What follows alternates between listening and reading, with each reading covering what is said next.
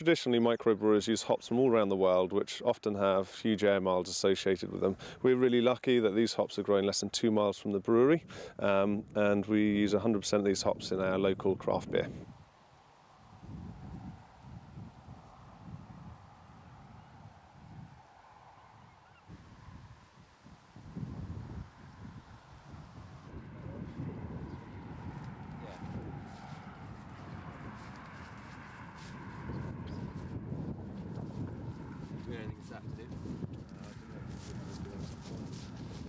It's uh, very low food mileage if you're growing with locally grown produce.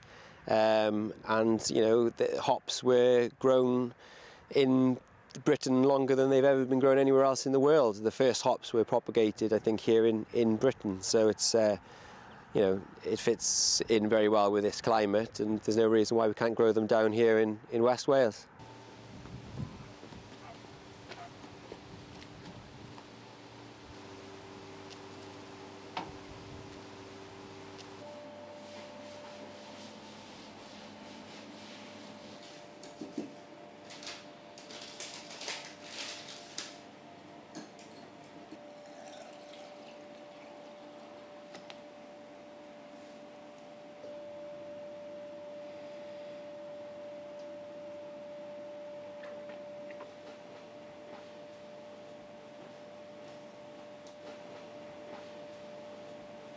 The main impacts with breweries, uh, particularly is energy usage and road mileage. So with energy usage, it's really hard to actually reduce that because you've got to get a, a, ton of water up to boiling point.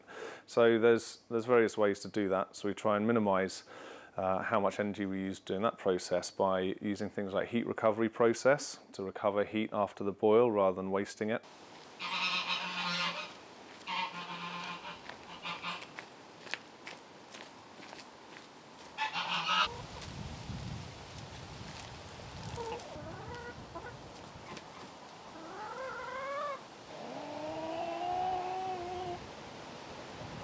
So it's really important to consider the whole life life cycle of the brewing process. So even things down to the waste, we make sure we recycle all our glass and cardboard, and that's also the organic waste we produce, such as the hops are then composted, and the grain is then given to, uh, to an eco farm in Narberth for chickens as feed. So uh, it's all a really involving process.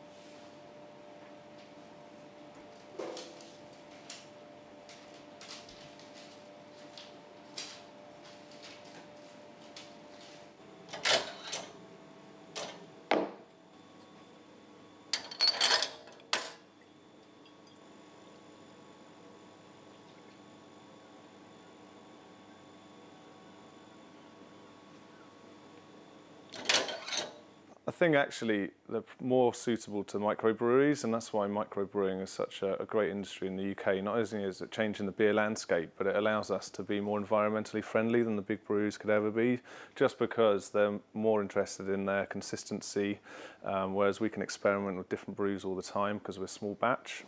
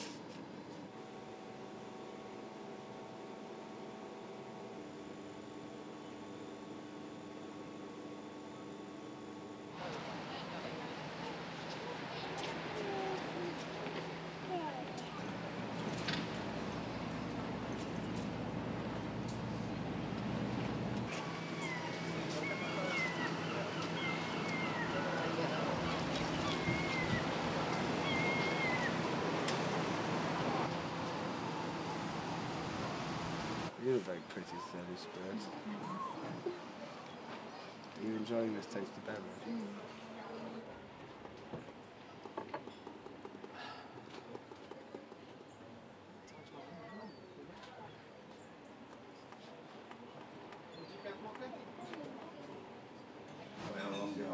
Oh, right, yeah, so we can't do it on the next week. No, no, no. Yeah, yeah, yeah. We get a lot of people coming, in, especially uh, go straight for the local beer, uh, whether it's for the environmental aspect or for, um, you know, just to have a locally produced beer as a sort of novelty. Yeah, yeah, yeah. We used to stock other ales alongside it, and now we don't bother at all because it's outsells them about four or five to one.